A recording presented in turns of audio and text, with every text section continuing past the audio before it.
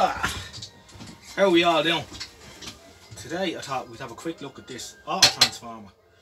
Chris, all the gear no idea is doing after doing two great in-depth videos into uh, step up, step down uh, transformers, and he's gone into a lot of the theory on uh, transformer efficiency and uh, regulation and stuff like that, which is interesting.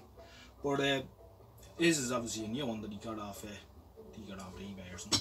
This is an old scale one. So I just thought we'd open it up and have a look at it, see how they compare. This is a Tra Tramag a D2001 and proudly states that it was made in Western Germany and I believe these might have been uh, marketed towards uh, uh, Americans stationed in Germany uh, at that time. So they would have had their uh, American 110 volt gear with them. So they would have been using these to step the, step down the uh, 220 volts. But this is a it's a heavy unit. Weighs a bloody ton there's two outlets on the front and uh, says 2000 watts fuse here so we'll just open it up and see what kind of transformer it has. This is an auto transformer, there's no installation provided uh, with this.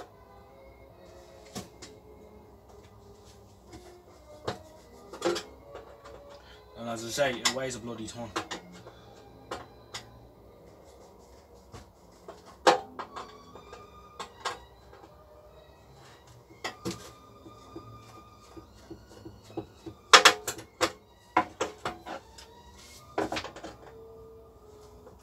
Winter's really coming in here now. It's a, it's a real cold winter's day here today. So, which is good and bad. I like the summer, I like the bright evenings, but the uh, the dark evenings in the winter give more time for this kind of thing.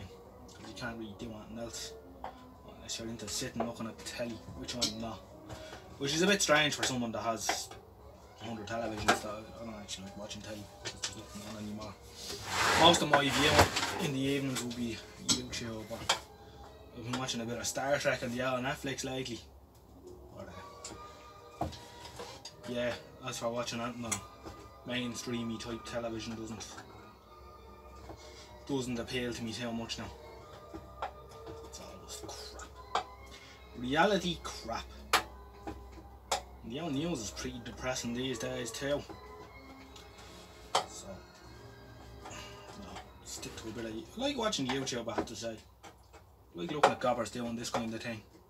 Same shit as this. Uh, they're all doing it far better than I. It's not a competition. It's just a bit of crack. The way I look at these videos and that that I do, I'm out in the shed floating around anyway, so I may as well be recording it and sharing it with people who have a, an interest, you know? That's the way I look at it.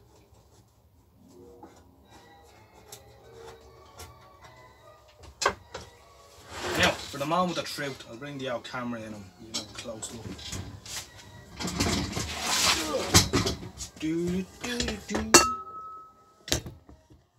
Oh.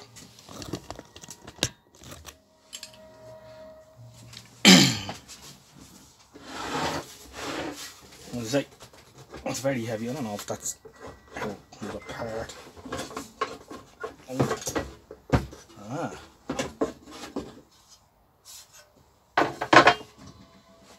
Does it come out? It doesn't. Oh, I think.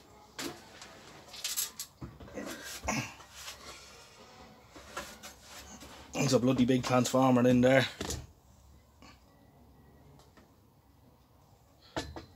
I think the handle is holding it all together. I don't think there's any point pulling the transformer out. I'm not going to. Because uh, getting it back in might be a bit of an Ardelius Cornelius.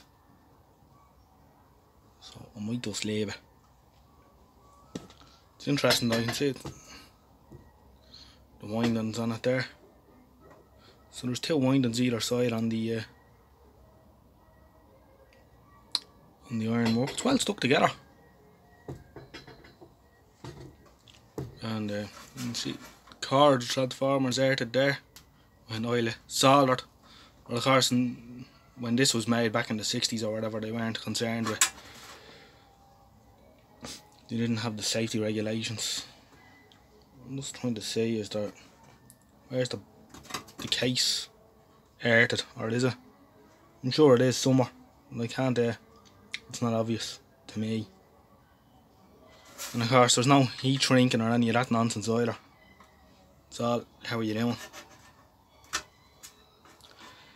Anyway, that's it. Just a short video to look at that. I hope that's been of moderate interest.